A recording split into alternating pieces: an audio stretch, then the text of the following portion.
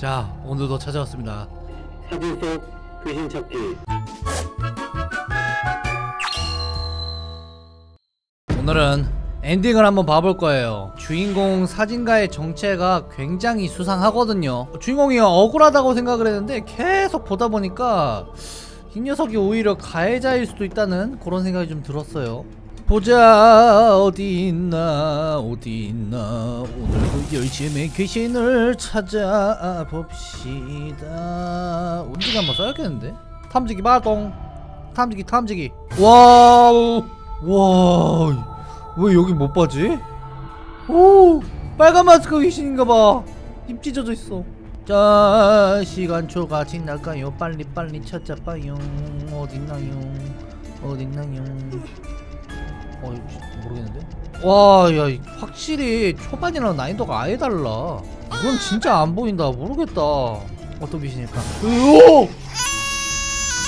자또 메인 증거가 나왔네요. 몇 가지 단서를 종합해보면 사진 찍는 취미 갖고 있고요. 그리고 사람을 살리는 의사였다. 어두운 새벽 시간을 좋아한다. 이걸로는 단서가 부족해요. 핵심적인 더 단서가 필요해 아 이건 여기 있었네요. 뭘 쳐다보십니까? 당당하게 들어오세요. 이제 뭐 딱히 놀라지 않습니다. 뭐 그냥 무슨 그림 찾는 그런 느낌이에요. 아 이거 뭔가 대놓고 쉬운 느낌인데 이런 게 오히려 어렵다니까? 야 얘 무빙하네? 무빙하는 귀신은 좀 아니지. 오 뭐랄까. 되게 외국의 폐가 같은 느낌이 드네요. 그 와중에 절 지켜보고 있는. 짜잔. 이제 얼마 안 남았어 한 50장만 더 찾으면 되거든요 여기 있구만 내 눈은 못 속이지 이제 여기는 교도소 사진인 것 같은데 갑자기 아무 상관없는 교도소 사진은 도대체 어떻게 받아들여야 될까요? 와 의사인데 교도소 사진까지 있다? 이건 뭐야 얘 도대체 정체가? 직업이 몇 개야? 교도소 직원인가 또? 일단은 귀신은 바로 한번 찾았고 분명 사건 현장의 사진인 것 같습니다 큰 사건에 휘말린 것 같습니다 와 출입금지 이거 폴리스 라인도 쳐져 있고 아, 요 정도면 거의 살인사건이어야 되지 않아? 혹시 주인공 의사인데 막 살인마였다거나 막 그런 거 아니에요? 와 점점 정체를 알 수가 없습니다 이거 변수가 좀 많은 것 같아요 아직 헷갈리는 증거들이 좀 많아 결정적인 증거가 나오지 않았어 어 이 사건 현장에서 누가 죽은 거죠? 어떤 귀신일까? 와! 어? 안 보였는데 왜 여기 있어? 이 정도면은 거의 탐지기를 써야 발견할 수 있는 사진들이 몇 개 있는 것 같은데? 시간이 지날수록 희미하지만 생각이 나는 것 같습니다. 가장 먼저 느낀 건 사진 속 귀신들이 아무래도 낯이 익다는 겁니다. 낯이 익다! 아 그렇다면 주인공은 일단은 주인공은 귀신을 알고 있습니다 사진 속 귀신들과의 관계를 생각하면 아무래도 의사와 환자와의 관계가 아닐까 생각합니다. 점점 단서들이 나오고 있어요. 확실한 건 의사가 이 환자들에게 무슨 짓을 한 거는 맞는 것 같습니다.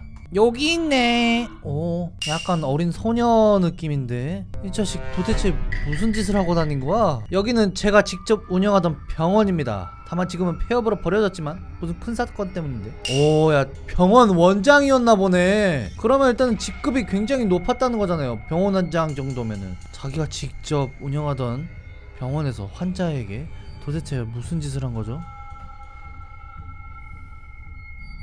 이 주인공 어, 병원 원장에게 뭔가 원한을 갖고 있는 것 같기도 하고 아 이 사진 다시 보니 생각났습니다 신문에서 본 적 있는 사진으로 납치범이 피해자를 오랜 기간 감금을 시켜놨다 설마 그러면 병원 원장인데 환자들을 납치를 해서 어떤 실험을 했던 건 아닐까요? 점점 점점 결말에 다가오고 있습니다 어떤 엔딩일까요? 자, 다시 한번 기억을 정리해보면 사진 찍는 걸 좋아하는 의사로 사진 속 귀신들은 지금껏 목숨을 살려주는 환자들입니다. 일단 확실하네요. 거기 귀신들은 환자들이었던 거고. 아 근데 이게 주인공이 도대체 나쁜 놈이야? 아니면 누명을 쓴 거야? 아직은 알 수가 없네. 아이고 여기 또 억울하신 분 오케이 하셨네.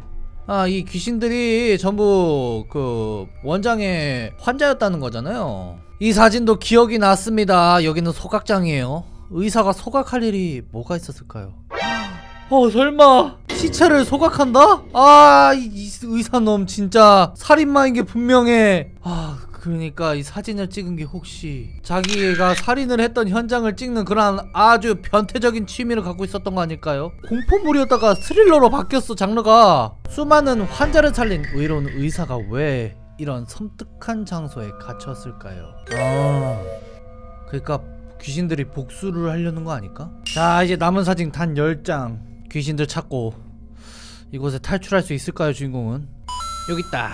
자 마지막 최후의 사진. 120번째 사진입니다. 과연 이 주인공의 정체 뭘까요? 드디어 마지막 사진입니다. 이 사진을 끝으로 이 지긋지긋한 곳을 빠져나갈 겁니다. 하지만 쉽지 않아 보여요.